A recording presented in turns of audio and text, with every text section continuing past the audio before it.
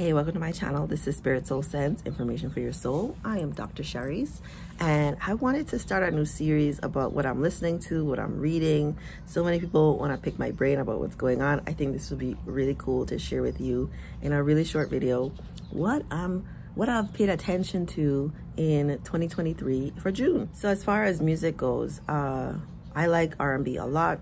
I've been listening on repeat a lot of love songs recently. Um, Alina Baraz has a really pretty music, but I like her Coming to My Senses song. Um, there's the Show Me Love by Alicia Keys and I forgot his name. I'm gonna show everything, uh, a picture of everything. Um, then there's Sabrina Claudio that I listen to a lot and I feel like there's one more I'm missing. I forget. Uh, but what I recently, so like the end of June, one of the songs that I'm probably not going to listen to on repeat a lot, but was extremely moving was Joyner Lucas's song Broski. The music video for that is incredible. It's a work of art. And I've listened to a couple of his other songs, um, paid attention to some of his music videos because he is super creative. And I think everybody should, I mean, everybody, yeah, everybody should watch that video because it highlights life. It, it highlights life. And the fact that some people um, are in your life for a season, a reason, you know, for a lesson, and not everything is about romantic love, that the friends you have also, you choose is super, super important. So I highly recommend. Uh, as far as books, I probably read 100 books last year. I have always been an avid reader. I read very quickly. I have an interest in a lot of different things. So I read self-help books, spiritual books, novels, all sorts of different novels.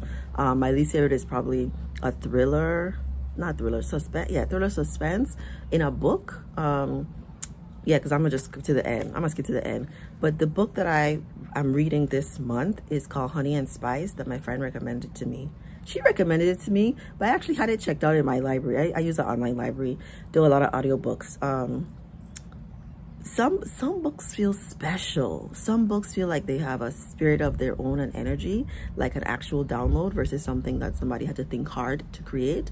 This book reminds you what it's like to be 19 um and to be trying to figure out dating and friendships and connections were so natural and there wasn't a lot of overthinking. I think, I think for the average 19 year old, you don't know what you're doing. You're learning all these things for the first time. Um, and the feelings attached to that are in this book and they elicit all the things like make me giggle. It's a really well done book and I'm looking forward to finishing it. What I'm watching, um, so if you're new to my channel, you don't know this, but The Office, The Witcher, these are things I've been obsessed about. It's funny that I haven't done um, a video about The Witcher when it's something I'm completely obsessed with. I am obsessed with The Witcher. Um, but The Office, right? Love The Office. So those are things I'm always watching. So after today, right, uh, in this series, I probably won't just keep mentioning The Office, The Witcher. Um, but something new that I've been watching Evelyn from the internet, these, she's one of those people who's been on the internet for like over a decade. Um, really when YouTube was starting, she was on there creating content and now she's like super serious about wanting to create like meaning, very meaningful content. So she has a new series that she worked very hard on.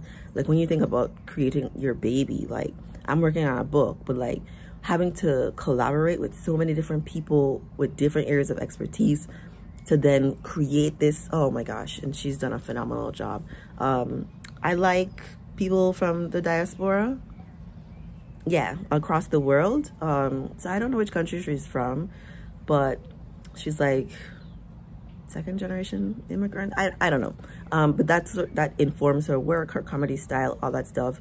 Um, a lot of people i like right or black foreign from somewhere else. Um, so i really like her content and really, really impressed with the work that she's doing to create like series and media. Like she's just doing a phenomenal job. And then i thought about adding a hot topic i i always go back and forth. Not always.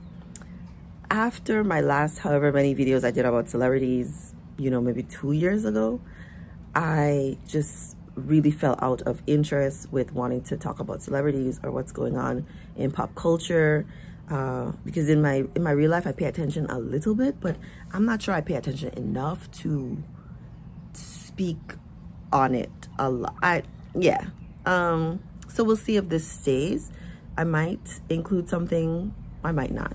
Um, but what I'm thinking about for the hot topic of June was uh, interview that Hasan Minhaj.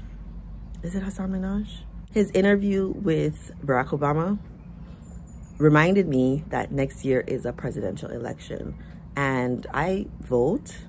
I pay attention enough to what's happening. Um, and I, I just thought the conversation around um, politics, the world, state of the world, inflation, um, climate change, you know, Barack Obama has been so consistent in his stance and his approach to communicating with the community um, and the public.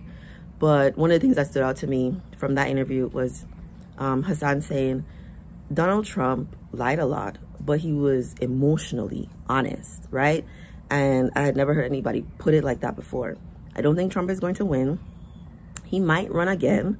Um, I guess if he's not convicted, he might run again, but I don't think he's going to win. I am very curious though to see who is going to win. Um, in the nature of these things, right? I'm not like a political pundit or like expert in policy or anything like that. Um, I just pay attention to trends. I'm an expert in human psychology. So to me, from my perspective, I think it's probably going to be a Republican president. And in the grand scheme of things, right? So, like I have some video ideas for July, but in the grand scheme of things, um, it matters, but it doesn't really matter. I mean, it matters, but it doesn't really matter. Like, even if someone you don't like wins, it does not mean that you cannot still live your best life, like, no matter what's going on. Um, there's always a way, a strategy to improve your life, no matter what's going on externally. It's literally what my channel is about. So let me know if you've read the book, if you've listened to the music or seen that music video. What do you think about the presidential elections? And I'll see you next month for my July. What am I consuming?